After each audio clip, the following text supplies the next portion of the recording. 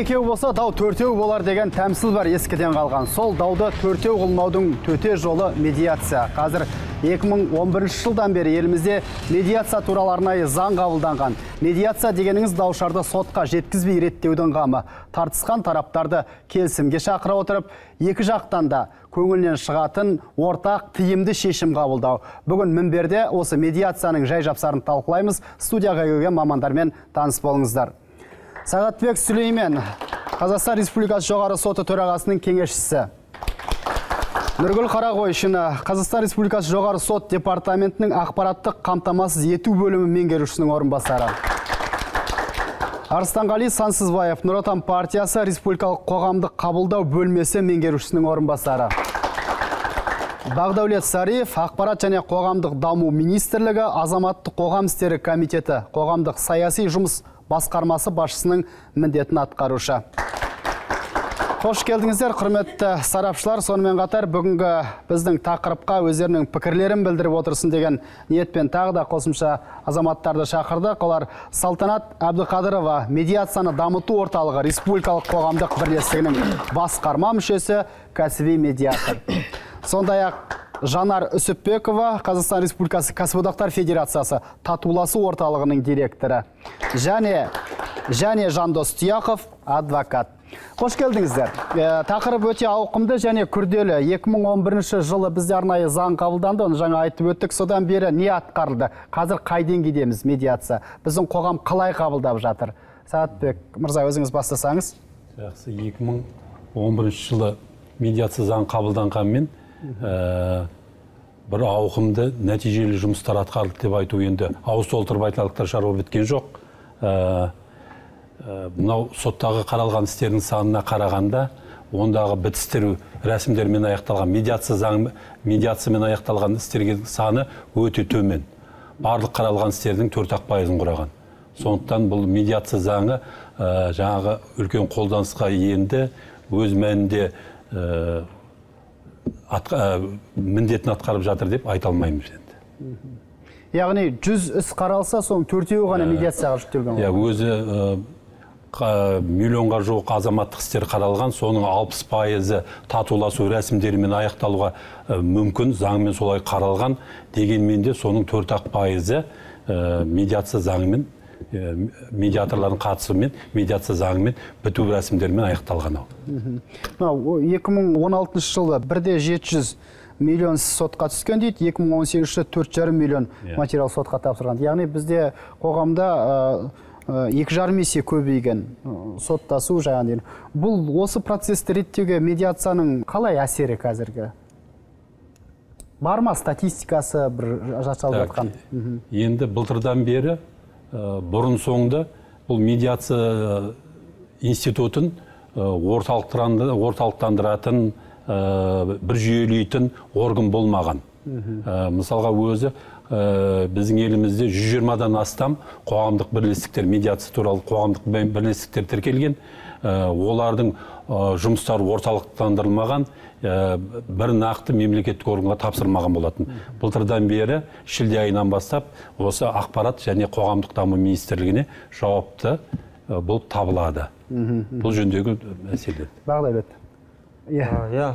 Қандай жұмыстар болатбекұлы дұрыс өте дұрыс айтып өтті.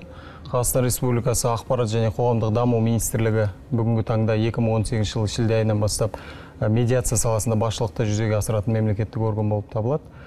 Ең алдымен жаңа функция министрлікке белгіленгеннен кейін біз өзімізге сұрақ қойдық. Медиация жалпы институтының елімізде қазіргі жағдай қандай? Оның даму келешегі қандай деген сияқты перспективасы бар ма жоқ па деген сияқты өзімізге сұрақты нақтылай қойып анықтап алуға тырыстық.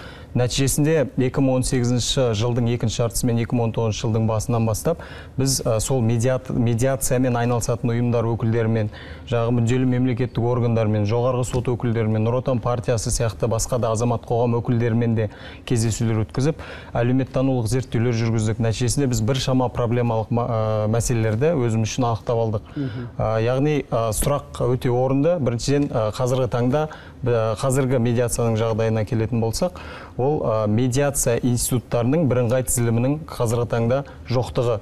Яғни біз өзіміз жұмыс барысында осымен бетпе бет қалдық. Ә, себебі ә, нақты ақпарат қанша ұйым бар екен барлығымыз айтамыз. Жүзден аса 120-дан астам қазақстанда медиация ұйымдары бар дейміз. Бірақ нақты ақпарат оның ішінде қанша адам бар кімдер жұмыс жасайды кімдер жұмыс жасамайды деген сияқты сұрақтарға жауап іздеу өте қиын болды. Екіншіден медиация институтының дамуына бірден бір тежеу болып тұрған бұл медиация процедураларына қоғамда, қоғамның яғни азаматтардың оған сенімдігінің өте төмендігін төмендігі Ә, себебі ә, мысалға былтыр жүргізген әлеуметтік зерттеудің ә, жаңағы нәтижесін алып қарайтын болсақ тек медиация институтының естуім бар білемін деген азаматтардың саны отыз пайыздан сәл ғана асады.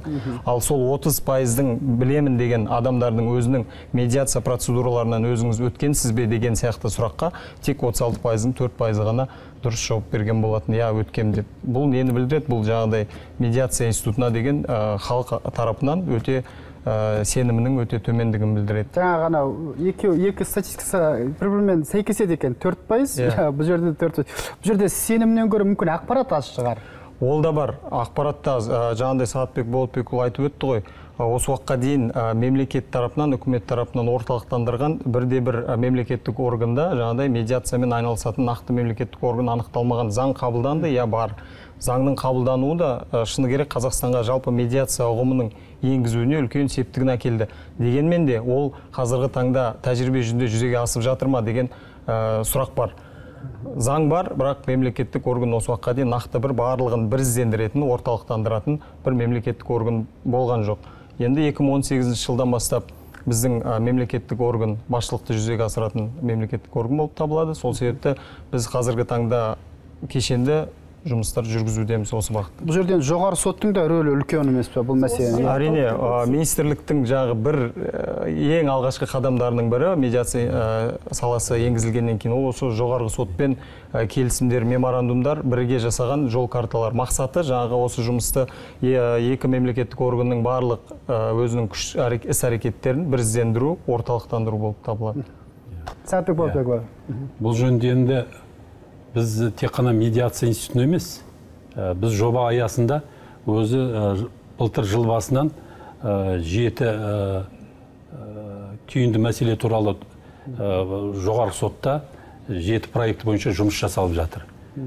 Оның ішінде біз енді біздің жоба татуласу сотқа дейін сотта жобасы аясында бұл мәселені біздер зерттеп оның бір төрт жолын көрдік. Сол төрт жолын нақты анықтадық та сол төрт жол бойынша төрт бағыт бойынша жұмысымызды бастап кеттік. Енді оның ішінде біріншіден мынау жаңағы татуласу рәсімдері деп алдық біз. Татуласу рәсімдерінің ішінде тек қана медиация емес оның ішінде партисипатив деген ә, мынау та- дауласушы тараптардың ә, адвокаттары қорғаушылары өзара келіссөздер жүргізіп бітісу туралы мәселе. Сондықтан біз тағы бір ә, түрін ә, мынау ә, өзіміздің ұлттық болмысымызға әдет ғұрпымызға бұрынғы билер институтын қайта жаңғырту туралы жоспарымызға кіргізіп ол мәселелерді қазір жаңғыртудамыз. Біз енді билер кеңестерін құрытып балама дау шешудің балама түрі есебінде қазір қолданысқа енді. Ол енді мынау сегіз облыста сегіз облыста екі жүзге жуық ауылдық округтерде билер кеңестері құрылып жаңа дау шешудің балама түрі есебінде жұмыстар жұмыстарын бастап кетті. Енді ақпарат құралдарында бұл туралы мәліметтер жақсы қазір беріліп жатыр енді. Қосымша қосып жіберсек осы жерде. Енді ә, тас түскен жеріне ауыр дейтін негізгі салмақ бүгінде сот жүйе- жүйесіне түсіп отырғандықтан істердің барлығы сотқа келіп тірелетіндіктен әрине біз бірінші кезекте бұл мәселелерді рет ретімен қоюға назар аударып отырмыз. Соның ішінде әрине кез келген даудың осы сотқа келіп шешілген жағдайда аяғы жақсылықпен аяқталмайтынын да айтып өткен жөн шығар. Себебі бұл күн соттасып жатқан мынау үлкен қазір көрсеткіш көрсетіп отқан істердің елу пайызға жуығы бұл азаматтық істер. Әсіресе әке мен баланың шеше мен баланың ағайын мен ағайынның көршілер мен дос жарандардың арасындағы дау жанжал өршіп тұр. Оның аяғы жақсылыққа апармайды дейтінім ресми сот сияқты органның алдына келіп бет жыртысқаннан кейін. Аузыңа келген дүниені айтқаннан кейін сен ол ағайыныңмен досыңмен туысыңмен әрі қарай араласпайтының түсінікті. Сондықтан да біз мынау билер кеңесіне жүгінген шақта ел ішінде әрқашанда қандай дерт болса да қандай қиыншылық болса да елдің үлкендері елдің зиялысы болып саналатын буын әрқашан сол дауларды сол мәселелерді рет ретімен азаматтық тұрғыда шешуге тырысқан. Және бұл мәселелерге бүгінгі таңда ол азаматтар менің отбасыма қатысы жоқ менің барлық жанұямды бәрі түгел деп қарап отыратын болса қоғамды жайпаған бұл өрт кез келген шаңырақта да шайқап кетуі мүмкін екенін айтып өткен жөн шығар. Сондықтан да біз әрбір республиканың облыс орталықтарына барып екі мыңнан астам зиялы қауым әрбір өңірдің беделді белсенді азаматтарымен кездескен кезде осы мәселені талқыға салып біз ел болып жұмылып халық болып біріккен шақта осы мәселенің алдын алу немесе үгіт насихат жұмыстарын жүргізіп халықты сабырға шақыру мәселесін көздердік. Сол себепті біз осы жерде мен енді әрине көп сөйлеп қойды демейсіздер. Бірақ та бір ғана мысалды келтіріп өтейін. Біз оны үнемі жиналыстарымызда айтып өтетінбіз. Былай қарағанда күлкілі мәселе сияқты көрінетін шығар. Бірақ қо- қоғамның бүгінгі таңдағы көлеңкелі тұсы болғандықтан оны да айтып өткен жөн шығар. Мәселен бір облыста екі көрші дауласады. Дауласудың себебі әрине олардың ішкі бір біріне деген қайшылықтарымен ергес болуы мүмкін. Дегенмен даудың себебі сотқа келіп жүгінген кезде арыздың негізінде бір көршінің ауласында өсіп тұрған ағаштың көлеңкесі мен жапырағы келесі көршінің ауласына түсті деген мәселемен талқыланған. Сөйтіп жүріп екі жақта жарты жыл соттасып әрқайсысы қорғаушыға жарты миллионнан ақша жұмсап аяғында дау теректі кесумен аяқталады. Бұл жерде кім ұтты бұл жерде ешкім де ұтқан жоқ. Біріншіден адамдар уақытын және жүйкесін жоғалтты. Денсаулығынан айырылды. Екіншіден бұл отбасына беретін бала шағасына беретін нәпақасын былай қарағанда басқа адамдарға жұмсады. Сондықтан да біздің дауларымыздың көбі кейде осындай бір мәселелердің айналасында болатыны жасырын емес және оның жақсылыққа апармайтынын да халыққа айтып өткен жөн шығар. Рахмет нұргүл отқызы сізді тыңдай бергенге Ұста- сөйл- сөйлеу мәнеріңіз жалпы тіл байлығыңыз журналистермен күнделікті жұмыс істейтініңізді көрсетіп тұр.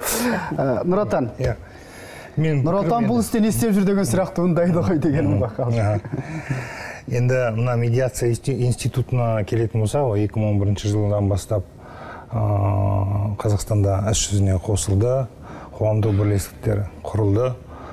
Мынау қалыптасу яғни аяққа тұру бір этапы басталып осы жеті жылдың ішінде сол этап өтті деп айтуға болады.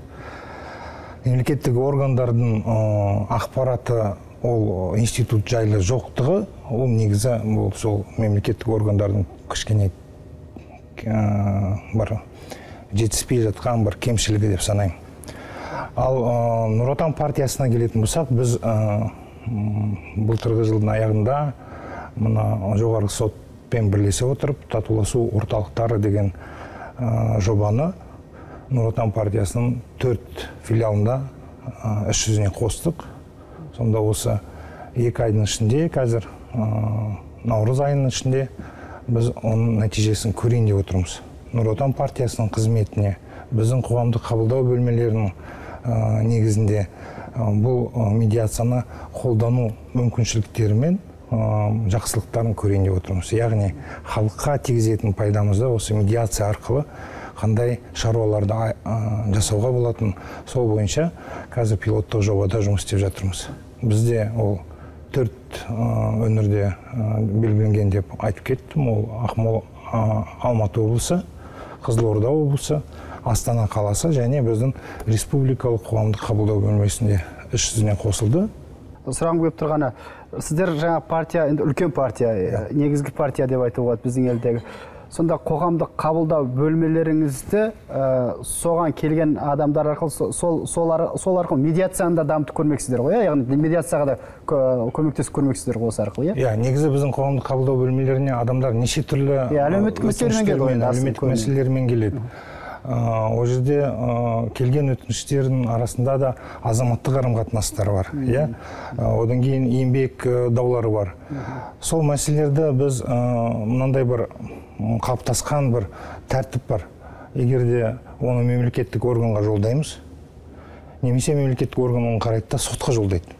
Сотқа барыңыз дейміз иә? Мысалы азаматтық екі көрші бір бірімен даулас дауға келді. Сотқа барыңыздар сол сот арқылы шешіңіздер дейміз да. Бұл әрекетпен біз мемлекеттік органдар ортадағы мына біздің қоғамдағы сондай бір дау дамай ортаны қалыптастырады да. Ал бізге келген адамдар бізден үміт бір үмітпен келеді ғой. Біз бір мәселені шешіп береді деп. Сонда біз егер де медиат- медиацияның арқасында медиацияны бір инструмент ретінде қарасақ онда біз сол кісілерге сол жерден бір жақсы ұсыныс жасап бір келісімге келтірсек ол да бір нәтиже болатын шығар деп ойлаймын. Рахмет Ә, рахмет. Әрине бар алаңды пайдаланып ары қарай дамытудың бір түрі ғой.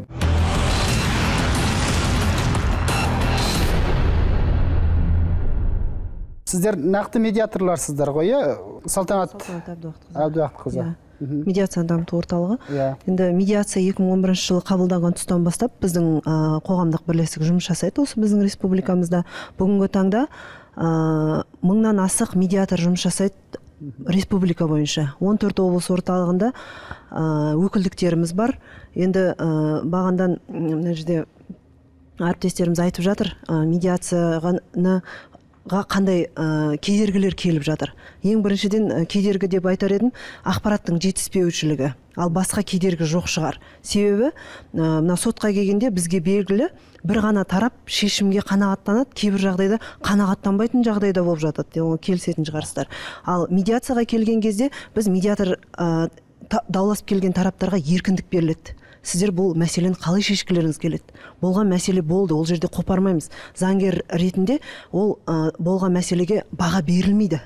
Жақсы мысалы алимент өндіру болсын ә, көрші дауы болсын. Енді дау деген өте көп қой қазір тіпті ә, мен көшеде маған дұрыс қарамады немесе маған балағат ауыз сөз айтты деп те адамдар шағымданып жатады. сондай шағымдардың бәрін сотқа жүктемесін азайту мақсатында қазір олардың барлығы медиаторларға келеді. Медиацияда біз қопармаймыз айтамыз жақсы сіздер осындай мәселеге тап болған екенсіздер. Енді бұдан шығудың жолын қарастырайық. Екі тарап қалай келіседі сол ол тараптарға заң болып есептеледі. Ол орындалуға міндетті. Біз енді ә, бүгінгі таңда қазір сараптама жүргіземіз. Қандай мәселелер ажырасу дейді мысалы қазір қоғамда көп белең алып жатқан. Олардың ә, несі негізі не екен? Ә, неге бұндай көбейіп кетті? Ә, сонымен қатар медиаторлар тек қана мысалы сотта қазір бізде медиаторларға кабинет бөлінген нұр отанмен одан кейін татуластыру орталықтарында біздің медиаторлар ә, көмекке келіп жатыр. Ал оның сыртында республика бойынша бірыңғай қызмет көрсету орталық, орталықтары ашылып жатыр. Ол жерде ә, медиатормен қатар заңгердің көмегі беріледі сонымен қатар мамандандырылған психологтың көмегі беріледі. Жалпы медиатор жалғыз өзі жұмыс жасаған кезде қарап отыратын болсақ отбасылық мәселеде психолог қажет міндетті түрде. Ал психологты біз медиаторлар көбінесе мынау ә, білім басқармаларынан сұратып отырдық. Білім басқармаларынан сұратқан кезде ол ә, психологтар мамандандырылған емес. Соны біз алдын алу мақсатында дәл осы ә, отбасылық жағдаймен отбасылық ә, кеңес бере алатын психологтарды сол бір орталыққа жинап қазір осындай ә, орталықтарымыз қызмет атқарып жатыр. Рахмет. Ә, қанша медиатор бар қазір? Қазіргі таңда қолда бар ақпаратқа сәйкес ә, қазақстанда кәсіби емес медиаторлар бізде кәсіби және кәсіби емес болып екіге бөлінеді. Кәсіби емес медиаторлардың саны ол үш мыңға жуық. Ал кәсіби медиаторлық ұйымдардың саны ол жаңағы ә, өзінің әріптестеріміз айтып өтті жүзден аса. Нақты кәсіби. иә кәсіби. Нақты ақпараттың ә, қазіргі таңда ол осы бағытта біз жұмыс жасап жатырмық неге? Жаңағы нұр отаннан келген әріптесіміз де айтып өтті. Ә, бұл жерде мына нәрсені ә, түсініп алу керек. Ә, қолданыстағы заңнамаға сәйкес медиаторлардың тізбегін яғни реестрін әрбір медиаторлық ұйым өздері жүргізеді. Заң бойынша өздері жүргізеді олар жаңағы сайттарына қояды олар оны белгілі бір уақыт арасында жаңартып отырады деген сияқты мәселелер. Бұл көптеген бізге жұмыс барысында тәжірибе барысында көптеген қиындықтар туын- туындатады. Неге? Себебі жаңағы жүзден аса ұйымдардың барлығында күнделікті жаңағы интернет ресурсты ә, жаңартып отыратын мүмкіндігі жоқ. Немесе ақпарат ә, екі үш немесе төрт жыл бұрынғы және де ол ақпаратты табу үшін жаңағы біраз ә, тер төгу керек. Мен тағы бір нақтылап кеткім келеді кәсіби және кәсіби емес. Ол қалай анықталған? Екі ауыз сөзбен айтқан кезде кәсіби медиаторлар ақылы түрде қызмет көрсете алады ақысыз түрде кө- көмек кө- көмек көрсете алады. А, кәсіби еместер тек қана ақысыз түрде көрсетеді. Ол көбіне осы билер ақсақалдар жергілікті әкімдіктің жанынан орналасқан медиаторлар. Жақсы. Енді кім қаржыландырады деген мәселе? Өзімен өзі туындап тұр бұл жерде сұрақ медиатор өзінің қызметі үшін ә, даулас, ә, дауласушы тараптарды бітістірген үшін өзі ақы алады. Оның ақысын екі жағынан да алады. Ә, ол енді өзі келісім арқылы алынады. Ал енді біз мынау жаңағы айтып отырған мәселе туралы. Біз енді жаңа айттық қой төрт бағытын көріп отырмыз деп. Соның ішіндегі бір бағыты мына орталықтарды татуласу орталықтарын ашу. Ол енді татуласу орталықтарын біріншіден айтып өтейін бізді қолдаған нұр отан партиясы жаңағы кәсіподақтар федерациясы. Қазір кәсіподақтар федерациясы бүткіл өңірлерде орталықтар ашып ол қызметіне кірісті. Сонымен қатар нұр отан партиясы жаңағы төрт пилот төрт қалада пилоттық жобамен біздің жобаны қолдап ә, іске кірісіп жатыр орталықтар. Енді мәселе бұл орталықтар неге керек? Ә, сосын онда кімдер болу керек деген мәселеде. Мынау ә, шымшық сойса да қасапшы сойсын деген. Иә Иә. иә. жақсы нақыл бар. Жақсы нақыл бар. Енді осы орталықтарда дауды мамандар шешу керек. Енді біз бағана айтып өттік қой жаңағы барлығы қазір қасан қағида қалыптасқан тек қана дау болды ма сотқа жүгіну керек. Мемлекеттік органдарда өз міндеттерінің бәрін сотқа жүктеп қойған. Бірінші өздері шешу керек жоғары тұрған орган шешу керек. А бірақ олардың барлығы қазір сотқа бәрін сотқа бағыттайды. Сол себептен де соттағы жүктеме өте көбейіп кеткен. Бұл туралы елбасымыз тапсырма берді бастамасы басталды заң қабылданды. Қазіргі мәселеде жүктемені жеңілдету үшін жаңағы ә, қазір орталық келерміз жаңағы ә, заң қабылданғаннан бері мына нотариалдық жазба мәселесімен қазір ә, мынау ә, коммуналдық ә, төлемдерге байланысты даулардың сол тұрғыдағы даулардың барлығын нотариатқа беріліп жатыр. Сонымен қатар мынау сот орындаушылардың қаулыларын санкциялау мәселесі де жүктемені жеңілдету мәселесінде басталып кетті заң қабылданды бұл прокурорларға беріліп жатыр. Сонымен қатар енді орталық туралы мәселеде орталықта мамандар жұмыс істеу керек Ә, олар ә, кешенді қызмет көрсету керек. Кешенді қызмет көрсеткенде медиатор жаңағы ә, татуласу рәсімдерін өзінің технологиясы бар. Медиациялық ә, татуласу технол- технологиясы арқылы қолдану әдістерін қолдану арқылы даулар татула, ә, дауласу тараптарды татуластырады. Ал заңгер сол даудың заңды болуына көмектеседі орталықтағы мамандар.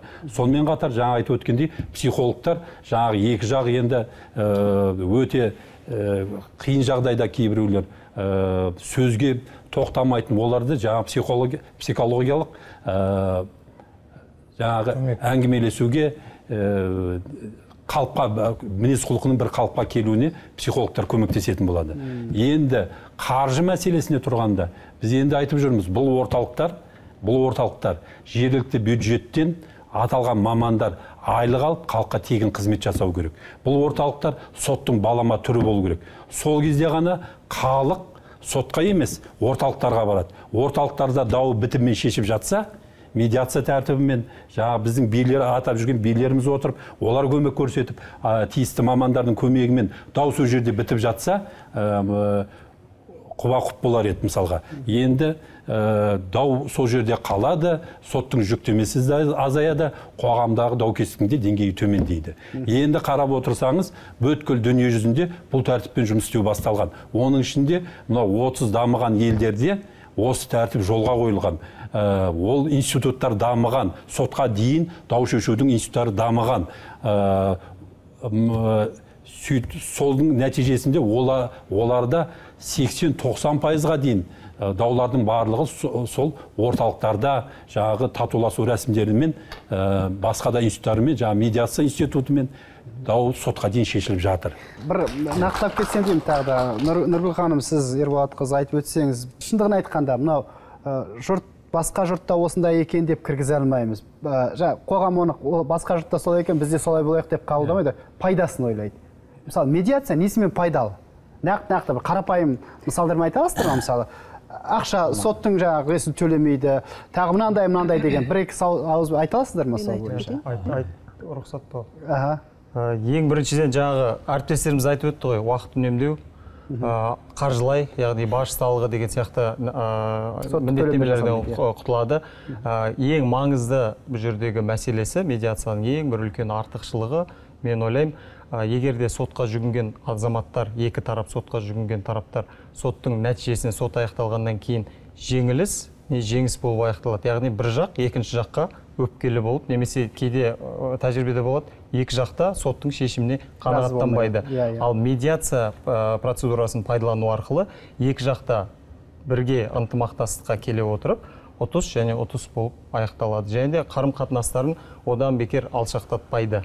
Осы жерде нақтылап өтсем себебі біз енді қазір нақты мынау билер кеңесінің институттарын жаңғырту бойынша жұмыс жасап отырмыз. Әсіресе өңірлердегі халықпен халықтың алдына жаңағы көп кездесетін даулармен жұмыс істеп отырған ақсақалдармен беделді азаматтармен сөйлесіп пікірлесіп отырмыз. Енді күнделікті жұмыс барысында естігенімізге қарағанда олардың көпшілігі әрине бір елді мекенде тұрғандықтан. Ол азаматтардың бұл өткенін тарихын бүгінін білгендіктен және олардың қай жағынан келуге болатынын білгендіктен ақылға шақыру жолға салу оңайырақ.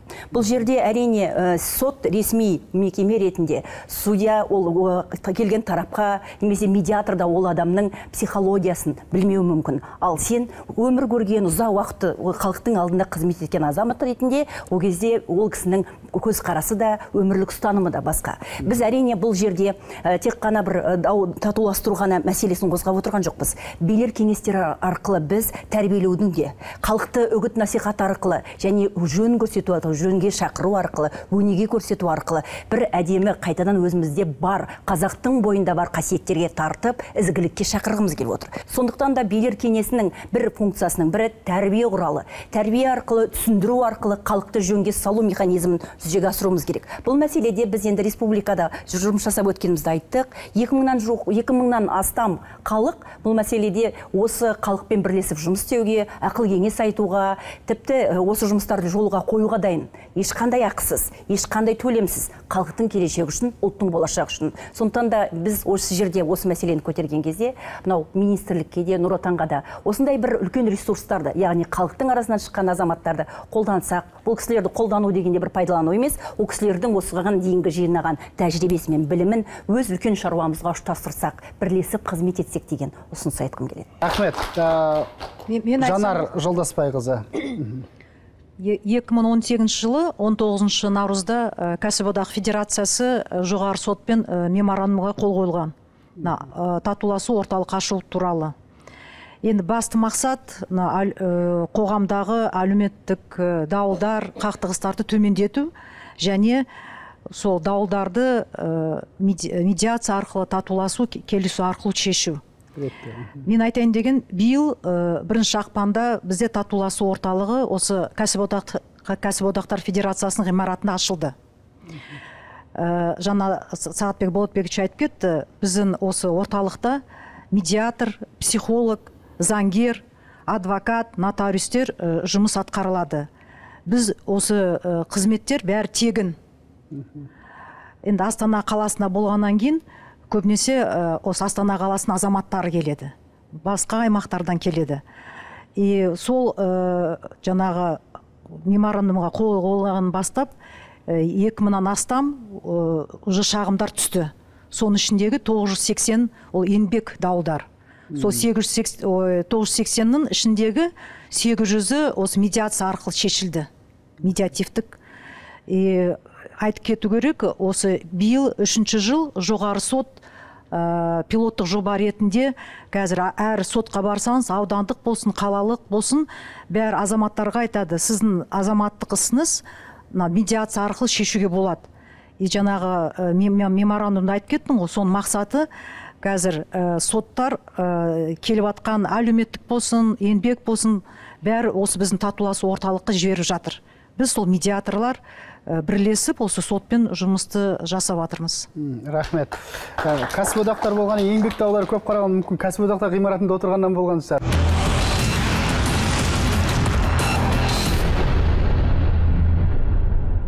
Ә, а- адвокат мырза біздің жандос есенқұлұлы сіздің пікіріңіз? Жаңа мен бір сұрақ қойып едім. Медиацияның нақты пайдасы қандай деп? Жо, медиацияның енді былайша былайша айтқанда қағаз жүзінде қарайтын болсақ жалпы заң жобасында қарайтын болсақ бұның халыққа деген тиімділік жағы өте көп. Бірақ біздің халықтың қазір менталитеті оған жете қойған жоқ. Бірақ та бұнда тек қана менталитет деп айтуға болмайды. Бұнда біз кадр мәселесіне көп көңіл бөлмейміз. Біз жаңағы енді былай мысал ретінде келтірсек әдемі автокөлікті берсек бір азаматқа. Ішіне бүкіл жаңағы автокөлікті әдемілеп қойып бірақ та ол жүргізуші ол машинені жүре жүргізе алмаса ертең ол машинеден дым да қалмайды мысалға. Сол сияқты өйткені бұл кадр мәселесі бізде жаңағы мен енді уақытын білмеймін бір он күн ба 15 күн уақыттың ішінде ә, бір курстар өтеді. Содан кейін ол жаңағы сотта медиатормын деп отырады былайша айтқанда. Ол азаматтың мысалға былайша айтқанда енді әрине мен бәрінің бетіне күйе жаға беріп айта алмаймын ол. Бірақ та ол адамның өзінің енді көп жағдайда бұнда психолог болу керек шығар. Бірақ та ол азаматтың заң ә, заң жағынан білімі жоқ.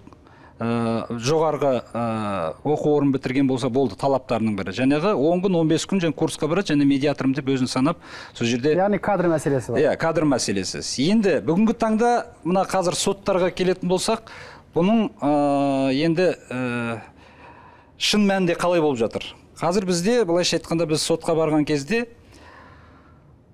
ә, енді айтсам артық болмайтын шығар. Былайша айтқанда судьялар судьялар бізді жаңағы медиацияға келуді жаңағы тараптарды өтінеді кәдімгідей.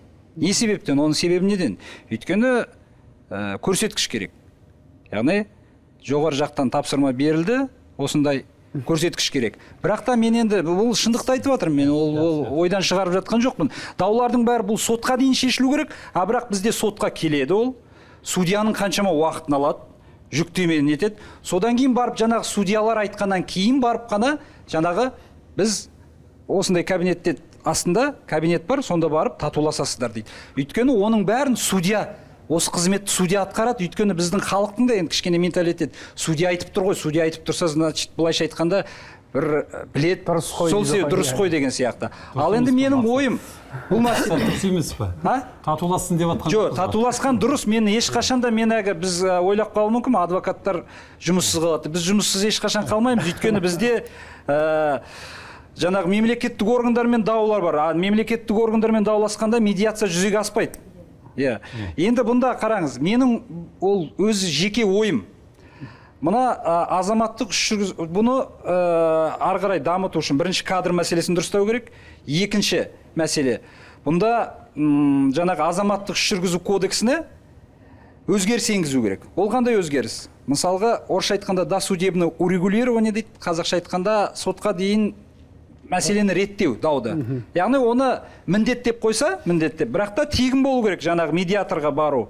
Тегін болса ә, медиаторға кірдіңіз осы жерде медиатор жұмыс жасау керек. Медиатор жұмыс жасады бірақ та егер де бұл дау шешілмеген жағдайда медиаторда міндетті түрде қағаз болу керек. Осы тараптар бұл мәселені дау ә, ә, медиация арқылы шеше алмады деген. Сонда сонда мысалға жаңағы медиацияға бару медиацияның халыққа деген рөлі өйткені ол жерде жақсы мамандар отырса түсіндіруіне болады. Мысалы осылай болады. Қазір сізде мемлекеттік бажыңыз кетеді. Адвокатқа бәленбай мың ақша төлейсіз деп сөйтіп айтып отырса енді менің ойым енді 20 адам барса үш адамы үш адам көнуі мүмкін көнуі мүмкін. Мысал мысал ретінде. Сол себептен осы мәселе арқылы ғана шешу керек. Ал біз қазір оны медиаторларға условия создавать етіп жатырмыз жағдай нетіп жатырмыз. Бірақ та кейбір мен айтайын өз басымнан өткен бір мәселе.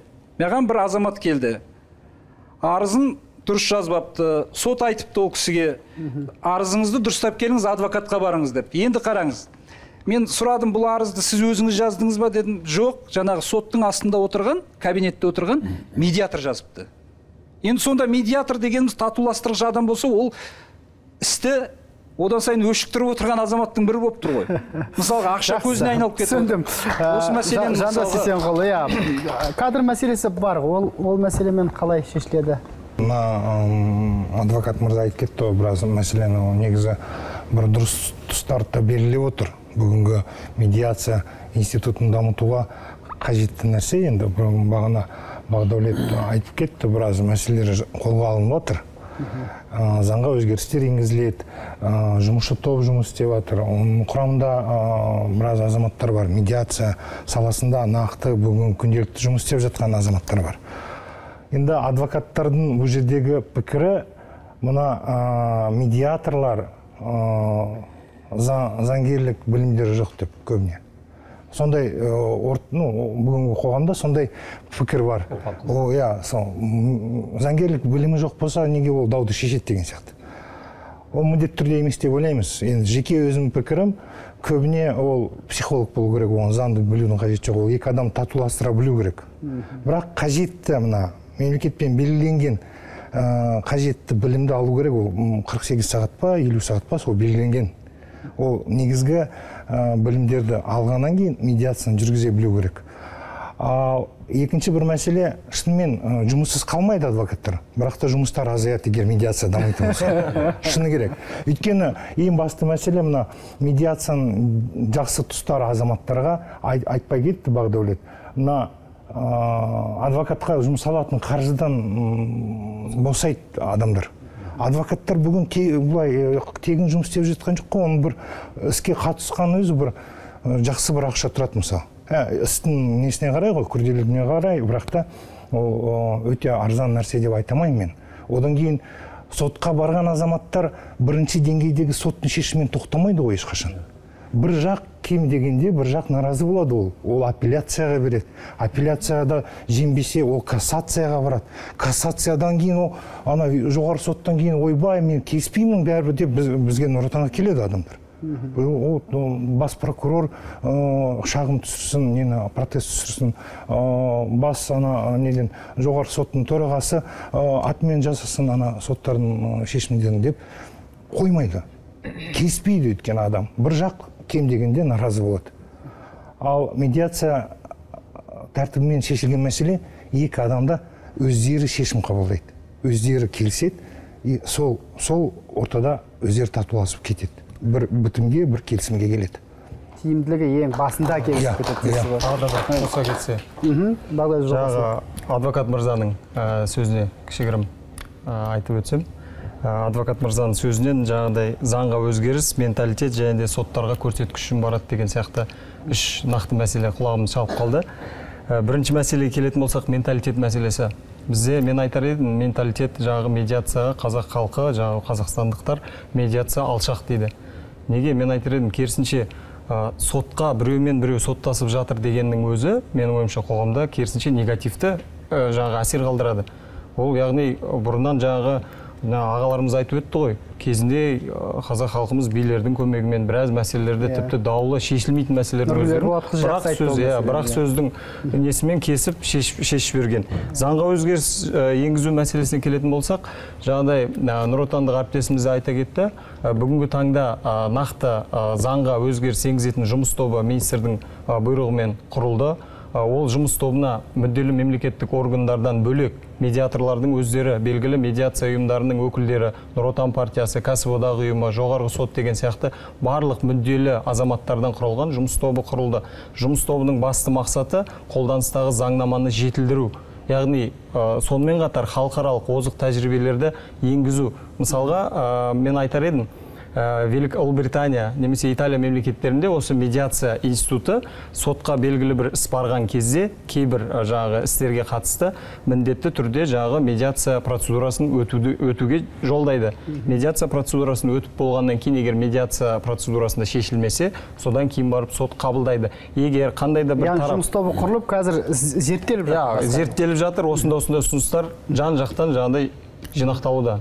Жақсы енді бір сұрақ қойғым келіп тұр баршаңызға ортақ. Жандос есенқұл адвокат айтып өтті алдында біздің ә, медиаторлар да айтып өтті. Мәселе жаңағы билер кеңесін құрайық рас. Медиатор медиаторларды орталық ашып берейік рас. Жаңағыдай оларды әкімшіліктер қаржыландырсын жұмыс істесін. Бірақ олардың шешімінің орындалуы тәртібіне орындалуына деген жаңағы шағымданушылардың күмәні жоқ па? Осы емес пе? Негізгі тетік ұстап тұрған біздің ә, жаңағыдай медиаторларға бармай кәдімгі қалыптасқан жаңағы соттарымызға баруға осы себеп болып тұрған жоқ па? Осы зерттеп осы көрдіңіздер ме мәселеге байланысты айтып өтсем бола ма? Осы жақында ғана ақмола облысында целиноград ауданында тура осындай баламалы әдіспен яғни енді билер кеңесінің мүшесі ретінде дауларды шешіп жүрген бір апаймен пікірлестім. Ол кісі ол кісіге бір ақ сұрақ қойдым. Сіздің алдыңызға келген даулардың қанша пайызын сіз шешіп жібердіңіз? дедім. Сонда ол кісі айтты менің алдыма келген даудың шешілмей кеткені жоқ деді. Сондықтан да бұл жерде бұл жерде енді кәсіби емес медиатор кәсіби медиатор. Бірақ біз бір мақсатқа жұмылуымыз керек бір мақсатқа жұмыс істейміз. Біз неғұрлым дауды татуласумен шешуге ұмтылуымыз керек. Әр дау татуласумен аяқталатын болса жаңағы екі от- отбасының арасындағы ер мен әйелдің арасындағы әңгіме жарасыммен аяқталса қоғам ұтады одан ешкім де ұтылмайды. Біз әрине мынау қорғаушылардың жұмысына қылмыстық істерде міндетті түрде жүгінетін боламыз. Басқа да мынау сотпен ғана шешілетін шаруаларда қорғаушыларсыз жұмыс істей алмаймыз. Бірақ жаңа менің ә, былай қарағанда сот жүйесінің қызметкері ретінде мына судьяларға қатысты біздің ауламызға лақтырылған тасқа қатысты айтып өтейін судьялар да шын айтқанда барлығының татуласумен аяқталғанына келісіммен аяқталғанына мүдделі. Себебі олар да осы қоғамның мүшелері ретінде халыққа шын жандар ашиды. Сондықтан да сіздер жұмыссыз қалмайсыздар. Себебі халықтың бәрі ел болғаннан кейін халық болғаннан кейін дау да дамайды бола береді істер де болады. Ал дегенмен мүмкіндігінше азаматтық істерде мынау отбасылық дауларда татуласумен аяқталса біздің мемлекетіміздің бірлігі осы ынтымақтығымыз ынтымақтығымыз елдің тәуелсіздігі берік қолға көшереді рахмет. Ә, мен сұрақты қайта қойғым келіп тұр. О- осы сұрақты қайта қойғым келеді. Еще басқаша формулировка жасайын көрейін. Ер мен әйел ол біз татуласуын қалап тұрмыз бірақ олар қалап тұрған жоқ. Өмірдің шындығы. Өмірге шындығымен шындық көзімен қараған кезде солай. Келісімдер бар. Бала әйелде қалатын болды жаңағы пәтер әйелде қалатын болды көлік ерінде қалатын болды бірдеңе деген сияқты сондай бір келісімдер. Осы келісімдерді медиатор жақсы деп келістіріп берді қағазға қол қойды. Бірақ сол келісімдің орындалуына орындалмауына кім кепілдік береді? Осы сұрақ. Бола ма? Мен мен сұрағыңызды Иә. түсіндім. Негізі ә, бүгінгі күнге дейін ә, бұл мәселе болды ол орындалу дейді ғой. Сот шешімінің орындалу сияқты осы келісімнің келісім шарттың орындалуы бойынша. Ә, бір тарап оны орындамаса деген сөз ғой. Өзіне жүктелген міндеттемелерді орындамаса не істейді екінші тарап деген екінші тарап сотқа барады. Сотқа жүгінеді. Сотқа жүгінеді. Бірақ та ә, ол жердегі бүгінгі күнге дейін кішкене қарау мерзімі дұрыс болмайтын. Бірақ та сәуірдің он жетісінен бастап өзгерістер енгізіледі. Мына ә, упрощенном порядке дейді ғой. Сот яғни шақырып жинап оңтайландырған тәртіпте қарайды. Бірден орындауға жібереді. Яғни орындау мына медиацияда келісілген дүниені жаңағы келісімге соны орындау орындауға сот ықпал етеді. Бір иә сот ықпал мен етеді. осыны осыны міндеттейді орындауды. Иә. рахмет. Егер Иә, медиация. соттан тыс жағдайда жасалған болса сотқа жүгінбей бірден нотариустың жазбасын шығарып алып ол орындаушыларға сот орындаушыларына түседі. Жаңағы медиация келісіміндегі келісілген нәрсе орындалуға міндетті. Сол арқылы иә адвокат мырзаға берсек қазір сөзді. Жандос бірақ енді жаңағы упрощенка дейді ғой немесе ә, бұйрық ретінде. Оның тағы бір астары бар. Оны мысалға екінші жақ екінші жақ. Егер де ол жайлы мәлімет болмай оны оп оңай жаңағы сотқа беру арқылы жаңағы күшін жойып тастауға құқылы. Құқылы сол себептен де азаматтар көп жағдайда былайша айтқанда қазір медиаторға барғаннан кейін ол қайтадан осылай жүзеге асып жатса ол сотқа енді орысша айтқанда сразу алдымен сотқа бір, бір жолата сотқа бара салмаймыз ба деген ой туындап жатады.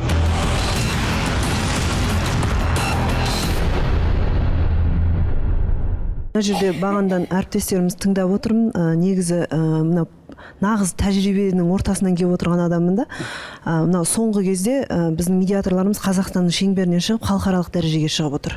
Осы жақында ақтау қаласының ә, бір тұрғындары біздің медиаторларымызға жүгінді.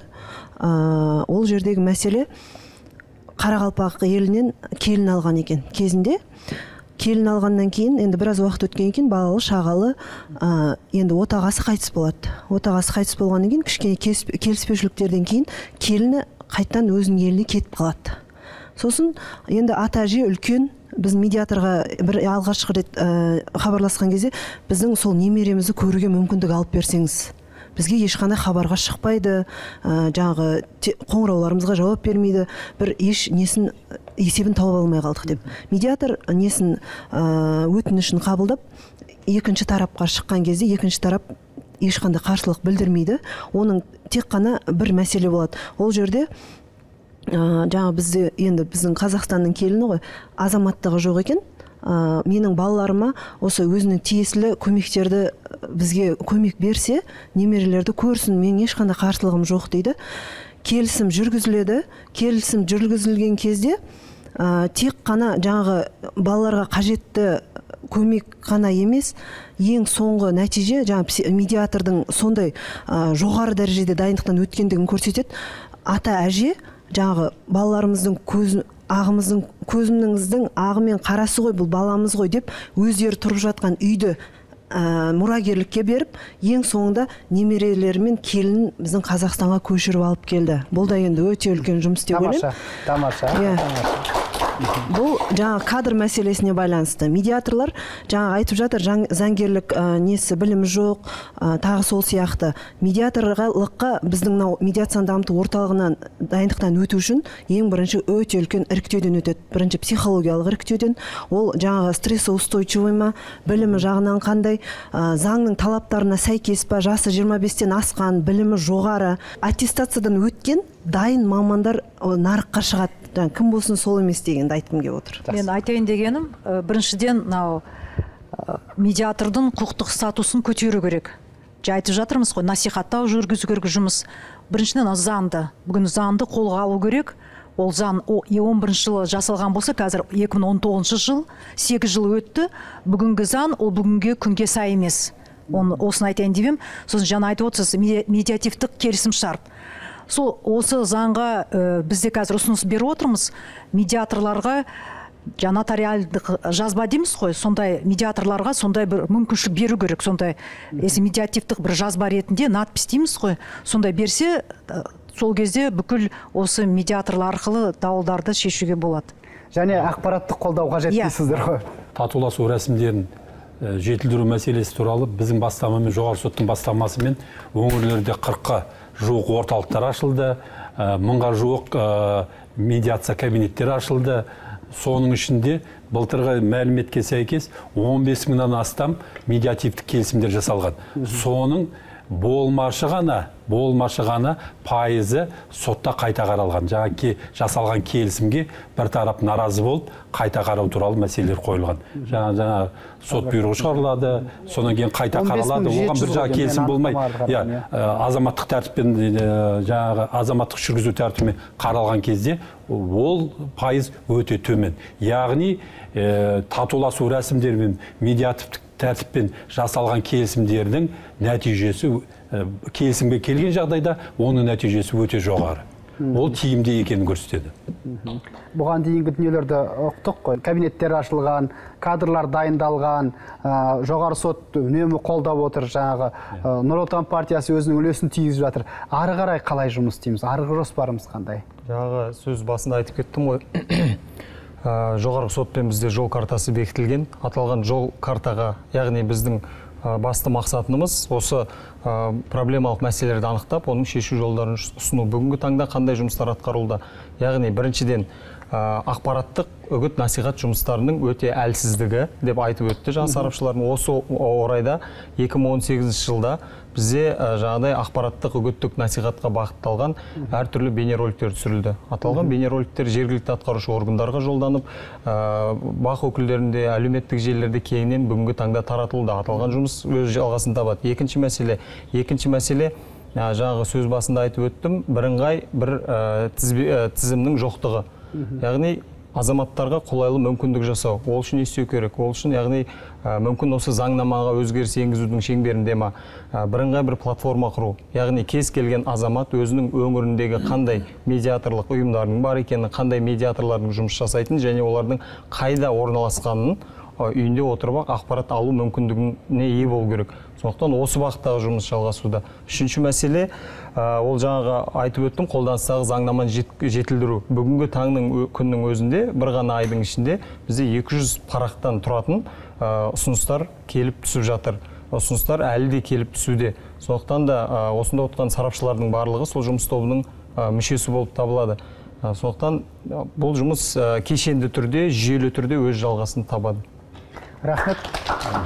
Осымен енді бізге бөлінген уақыт аяқталды. Қосымша иә қосымша. иә. Жаңа біз орталықтар айтып жатырмыз кешенді қызмет көрсету керек халыққа дауласушы тараптарға.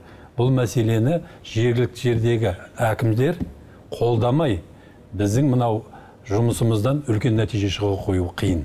Сондықтан атқарушы билік жергілікті жердегі мүдделі болу керек. Бұл енді жаңа заңдарға ә, талаптарға өзгерістер енгізіліп бұл әкімдердің жаңағы көрсеткіші рейтингісіне ә, қоғамдағы даукестіктің деңгейінің жоғары екендігі ә, жоғарылығы көрсеткіштің бір бағалаушы көрсеткіші болып танылу керек. Нұротан көмектесетін шығар бұл істе енді?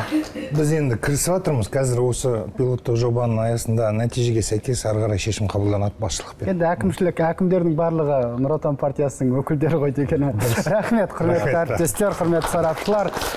Болашақтан үміті бар жұрттың барлығы құқықтық қоғам құрып құқықтық мемлекетте тұруға ұмтылады. Яғни қарым қатынас түрінің барлығы заңға икемделіп белгілі бір тәртіпке көндігуі тиіс.